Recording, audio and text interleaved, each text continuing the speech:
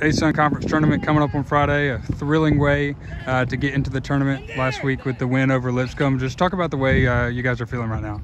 Yeah, we just feel really good about making the tournament in our first year in the ASUN. It was uh, definitely a difficult season in some ways. Uh, we had so many close losses against uh, top 75 teams, and we really feel like uh, we're right there against everybody in the conference. But um, we're peaking at the right time. We feel like all the guys are really gelling, and we have such good team chemistry seniors. And uh, yeah, we're just really excited to have one more trip at least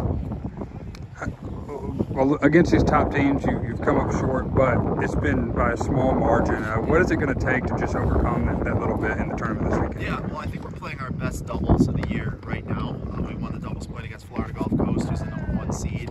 Uh, we won the doubles point really easily against Lipscomb, which was which was great heading into the tournament.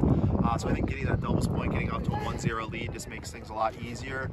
Uh, and I think some of the guys at the top of the lineup are going to have to step up against Liberty. You know, they have some of the best players in the conference. Um, you know, they have guys that are nationally ranked. So if we can win one of those top spots, uh, I think we could we have enough strength at the bottom to, to maybe get the four points. A lot of singers on this team, a lot of fifth year singers who decided to come back and, and give it one more go. Just talk about their leadership and what they mean to the team. Yeah, it's, it's been it's kind of hard to put it into words. Like their leadership has been incredible. I've never seen a group of seniors that are this um, this on top of things, this good with all the guys, no issues with any of these seniors. Just the way that they kind of talk to the younger players and lead by example has, has been really helpful for me. Uh, in my second season, I I came into a new program and really didn't have to worry about a lot of the things that some coaches have to worry about with, with team culture and, and things like that. So it's just been really a blessing you know, to have